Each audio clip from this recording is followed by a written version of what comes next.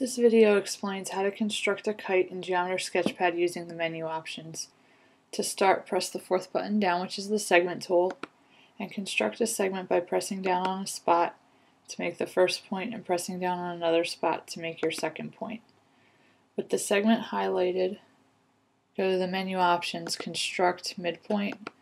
You could also use the keyboard shortcuts of either Control M on a PC or Command M on a Mac.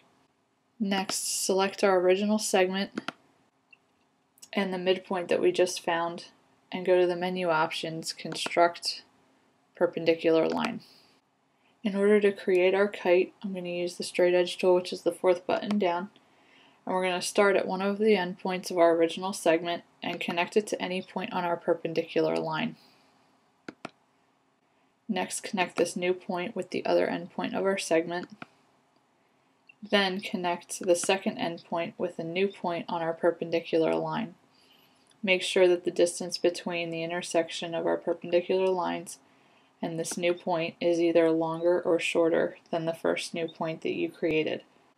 Also connect this new point with our original point that we started with. Last we're going to hide the extra segments and the midpoint that we found. Once all the items are selected, go to the menu option Display, Hide Objects, and we have our quadrilateral that appears to be a kite.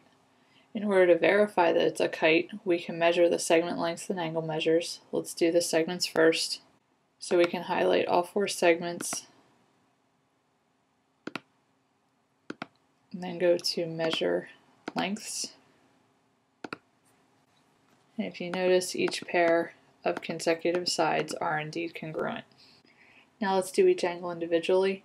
In order to do so, you need to select three points at a time, making sure that your middle point is the angle. So I'm going to start with point H and then do point E and F. Go to measure angle, and then continue going around your kite to measure each angle that you have.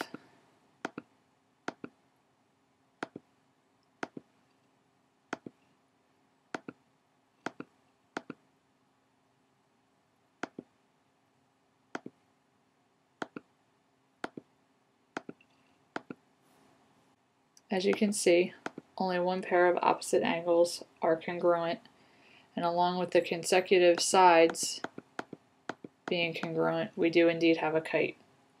I hope that you found this video helpful, and I hope that you have a great day.